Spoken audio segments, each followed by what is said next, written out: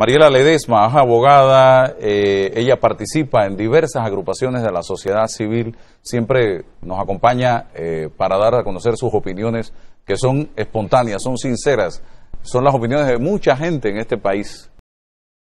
Yo entiendo que usted quiera ayudar a los pobres, pero recuerde que usted es el presidente de los pobres y de los demás que no somos pobres y de los demás que no somos pobres y de los demás que no somos pobres también porque yo a mí nadie me regaló la plata, a mí nadie me dio una partida circuital y me dijo, eh, perdón, discrecional, y me dijo, coge y vive con ella. Yo me la tengo que ganar todos los días. Hay una fuerte campaña contra los pobres en los medios. No solo es ella, es una constante que se reproduce todos los días con diversos invitados y los propios comentaristas o presentadores de programas de radio, televisión y articulistas en prensa.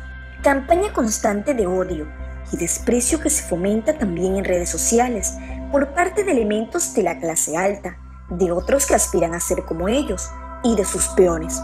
Aborrecimiento al obrero, al educador, al trabajador que lucha, al indígena, a los excluidos de todo tipo que exigen sus derechos. A los pobres se les regala la plata. Todos los pobres se benefician de partidas circuitales ¿Los pobres no tienen que ganarse la plata todos los días? Esto es discriminación. Esto es exclusión. Esto es rencor hacia los pobres.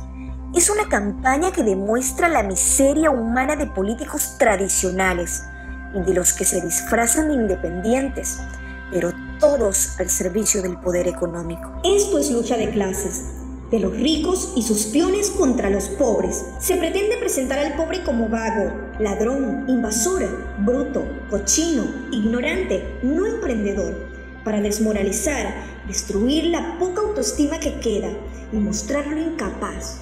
Pero algún día habrá justicia para los pobres.